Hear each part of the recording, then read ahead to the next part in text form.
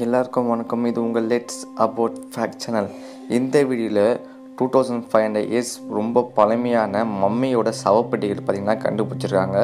இதை பற்றி தான் இந்த வீடியோவில் ஃபுல்லாக டீட்டெயில்ஸாக சொல்ல போகிறேன் வீடியோக்குள்ளே போகிறதுக்கு முன்னாடி நம்ம சேனலை சப்ஸ்கிரைப் பண்ணாத யாராவது இருந்தீங்கன்னா மறக்காமல் சப்ஸ்கிரைப் பண்ணிக்கோங்க. கூட பக்கத்தில் இருக்கிற பெல் ஐக்கானை கிளிக் பண்ணி ஆல் ப்ரெஸ் பண்ணிக்கோங்க. அப்போ தான் நம்ம சேனலில் வர எல்லா வீடியோ நோட்டிஃபிகேஷன் உங்களுக்கு வரும்.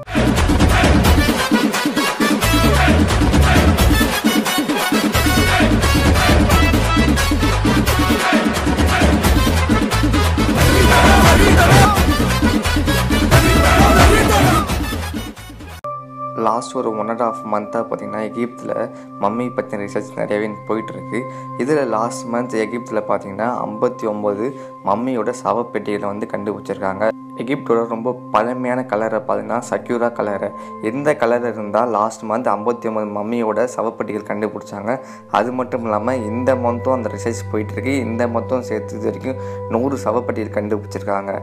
பொதுவாக எகிப்தோட நாகரிகத்தில் அரசர்கள் மன்னர்கள் இல்லை போதகர்கள் இவங்க இறந்தாங்கன்னா இவங்களோட உடம்ப பார்த்திங்கன்னா ஒரு மரப்பட்டியில் போட்டு அதை வந்து பதப்படுத்தி வைப்பாங்க. இதை தான் பார்த்திங்கன்னா மம்மின்னு சொல்லி எல்லாரும் சொல்லுவாங்க. இப்போ எகிப்தில் நடந்த இந்த ஆராய்ச்சியில் பார்த்தீங்கன்னா இது வரைக்கும் நூறு மம்மியோட சவப்பட்டியில் கண்டுபிடிச்சிருக்காங்க. இந்த கண்டுபிடிச்ச சவப்பெட்டிகளை பார்த்தீங்கன்னா ஒரு பெட்டி மட்டும் வந்து நல்ல நிலைமையில் இருந்திருக்கு. அந்த பெட்டி வந்து எதுவுமே அரிச்சு போகாமல் அந்த மரப்பெட்டி வந்து எதுவுமே அரிச்சு போகாமல் செல்லரிச்சு போகாமல் நல்ல நிலைமையில் இருந்திருக்கு. அதனால் வந்து அந்த பெட்டியில் இருக்கிற உள்ள டெட் பாடியும் பார்த்திங்கன்னா நல்ல நிலைமையில் தான் இருக்கும்னு சொல்லிட்டு அந்த பெட்டியை வந்து ஓப்பன் பண்ணி பார்த்துருக்காங்க. ஓப்பன் பண்ணி பார்க்கும்போது உள்ளே பார்த்தீங்கன்னா ஒரு உடம்பு இருந்திருக்கு அந்த உடம்பு மேலே பார்த்தீங்கன்னா ஒரு வரையப்பட்ட ஒரு துணியால் பார்த்தீங்கன்னா அந்த உடம்பை வந்து அலங்கரிச்சிருக்காங்க. இதை பார்க்கும்போது அங்கேருந்த எல்லாருக்குமே வந்து ரொம்பவே ஆச்சரியமாகவும் அதிர்ச்சியமாக இருந்துச்சு. இது மட்டும் இல்லாமல் இதுதான் ஃபஸ்ட்டு டைம் வந்து ஹிஸ்ட்ரியிலே பார்த்தீங்கன்னா ஃபஸ்ட்டு ஃபஸ்ட்டு மம்மியோட டெட் பாடியை வந்து ஓப்பன் பண்ணியிருக்காங்க இதுக்கு முன்னாடி கண்டுபிடிச்ச மம்மியோட அந்த டெட் பாடி எதுவுமே பார்த்திங்கன்னா நல்ல நிலைமையில் இருந்ததில்லை. இந்த பாடி மட்டும் தான் பார்த்திங்கன்னா அந்த ஒரு பாடி மட்டும் நல்ல நிலைமையில் இருந்திருக்கு. ஸோ இதுதான் ஃபஸ்ட் டைம் பார்த்திங்கன்னா ஓப்பன் பண்ணியும் பார்த்துருக்காங்க இது மட்டும் இல்லாமல் இப்போ இந்த கண்டுபிடிச்ச நூறு மம்மியோட சவப்பெட்டிகள் எல்லாமே பார்த்திங்கன்னா ரெண்டாயிரத்தி ஐநூறு வருஷத்துக்கு முன்னாடி பதப்பத்தி வைக்கப்பட்ட பொட்டி சவப்பெட்டிகள் சொல்கிறாங்க. கேட்கவே ரொம்பவே ஆச்சரியமாக இருக்குது காரணம் என்னன்னு கேட்டிங்கன்னா ரெண்டாயிரத்தி ஐநூறு வருஷத்துக்கு முன்னாடி பதப்பத்தி புதைக்கப்பட்ட சவப்பட்டிகள் எல்லாமே பார்த்திங்கன்னா இப்போ கண்டுபிடிச்சிருக்காங்க. இந்த வருஷத்தோட மிகப்பெரிய கண்டுபிடிப்பு சொல்லி இதை தான் சொல்லிக்கிட்டு இருக்காங்க.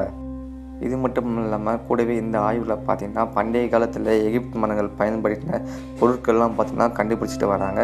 இந்த மாதிரி பண்டைய காலத்தோட எகிப்து மன்னர்கள் பொருட்கள் கண்டுபிடிக்கும் போது அவங்களோட நாகரிகமும் அவங்களோட வரலாற்றை பற்றி தெரிஞ்சுக்கிறதுக்கு ரொம்பவே யூஸ்ஃபுல்லாக இருக்கும்னு சொல்கிறாங்க இன்னொரு பக்கம் எகிப்தில் இருக்க சில பேர் என்ன சொல்கிறாங்கன்னா இந்த மாதிரி மம்மியோட சவப்படிகள் கண்டுபிடிக்கும் போது அதில் வந்து எகிப்து ராணியோட சவப்படிகளை கண்டுபிடிச்சா அந்த எகிப்து ராணியோட சவப்பெட்டியை ஓப்பன் பண்ணி பார்க்குறவங்க நேரடியாகவே பார்த்திங்கன்னா மரணம் ஏற்படும்னு சொல்லி சில பேர் சொல்லிகிட்டு இருக்காங்க. இது எந்த அளவுக்கு உண்மைன்னு தெரியல.